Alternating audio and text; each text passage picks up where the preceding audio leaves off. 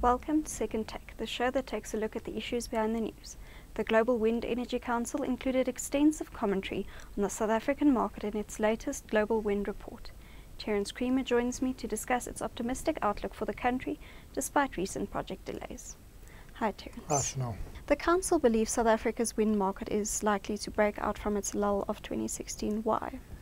Well, as you say, there's been this delay, protracted delay. In 2015, quite a lot of capacity was procured by the IPP office. Um, 12 of those projects were wind. Uh, the, the, the there were 37 in all. And uh, in 2016, we saw that the state-owned utility Eskom refused to sign those power purchase agreements, um, sending a letter to the Minister of Energy and Public Enterprises saying, you know, they needed guidance because of the lack of visibility around cost recovery.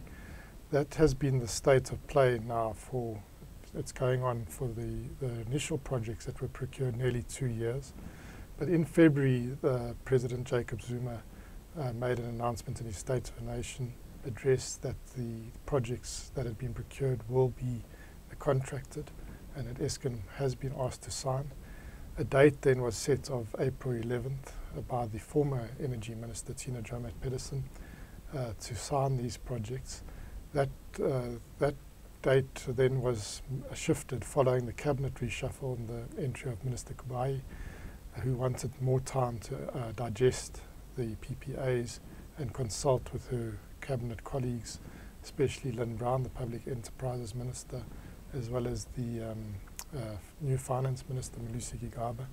So we haven't got uh, yet a new date, but what the Global Wind Energy Council is saying in its report is that they are fairly optimistic that the different hurdles that were in place for 2016, which led to South Africa only adding about 400 megawatts of wind capacity last year, uh, there's, there's a good sign that the stalemate is, is going to end, and that will therefore release this, this pent-up project pipeline, and that we should see a much better year uh, in 2017 once those contracts are signed, they, they do, you know, uh, you know, these, it's not that it's a done deal, but they feel that there's there's a lot going for it um, to get these projects uh, underway, and um, that that will see these these um, 37 renewables projects built over the next two years. As I said, 12 of those wind, and we'll have South Africa uh, again as a as a leading emerging market in in wind um, and will, and you know should re-stimulate uh, an industry that's really been in the doldrums. And we've also seen on the localization side, industries that supply into wind projects, into solar projects, have been taking major strain.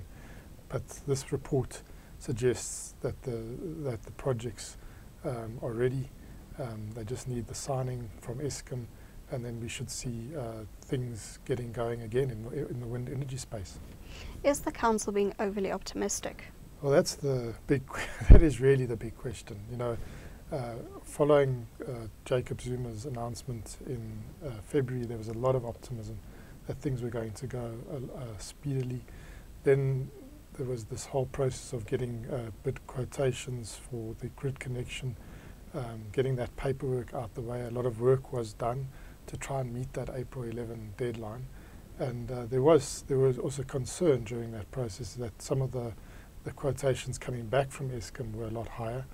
Uh, Eskom has reiterated that they don't have visibility on the cost recovery mechanism. They say they are constrained in their ability to get uh, to recover the costs for renewable uh, projects uh, by the fact that the, the regulatory clearing account me mechanism is closed off to them due to legal uncertainty. So the, uh, the RCA process was challenged uh, and NERSA was found wanting by the court and the last uh, application of the RCA was found to be uh, unlawful. Uh, NERSA is challenging that and appealing that, but we don't have certainty.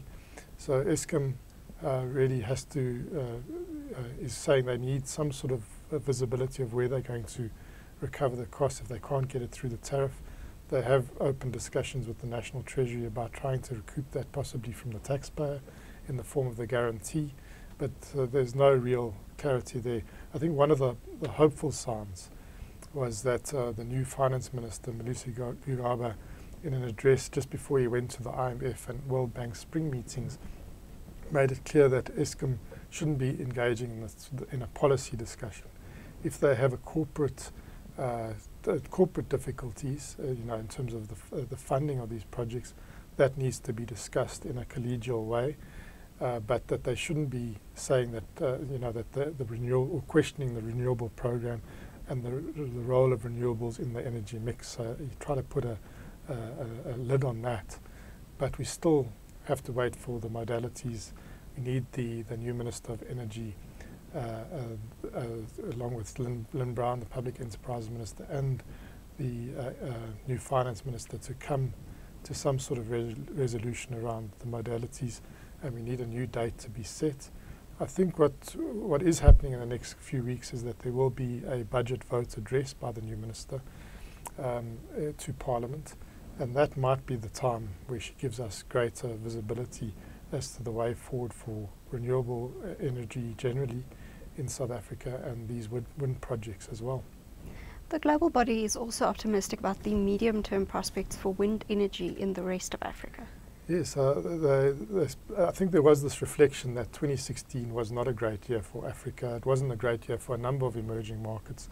The uh, a total of 54 gigawatts was added globally, which was uh, below their target. Now, largely that was accounted for because the, the big player at the moment in adding capacity is China. They added 23 gigawatts last year. That sounds like a lot, but it's a lot less than what people have been hoping. India had a record year, but it wasn't enough to offset what uh, the, the, drop from China, as well as these key emerging markets such as South Africa, which went through this major hiatus, and Brazil also had a, a tough year. And what uh, the, the, the global body is saying now is that they think there's this pent-up demand, there's this, these projects already, and we should start seeing in a number of these emerging markets, um, but in Africa in particular, we should start seeing some of these projects coming to fruition during 2017. We know, for instance, that the large um, 310 megawatt uh, um, project in Kenya, Lake Turkana, is, is ready to go. So that, that's already a, a bit of a game changer for, for that East Africa. Uh, then they mention obviously what's happening um, in South Africa, that there's these projects, there's projects that are prepared, it's just about getting the final contract in place and starting to build. And then also they, they're quite optimistic about what's happening in Morocco. Uh, so, so generally they think that Africa, as they describe it, is going to have a big year in 2017 in the area of wind. Thank you. That's the second take show for this week. Thank you for watching and join us again next time for more news analysis.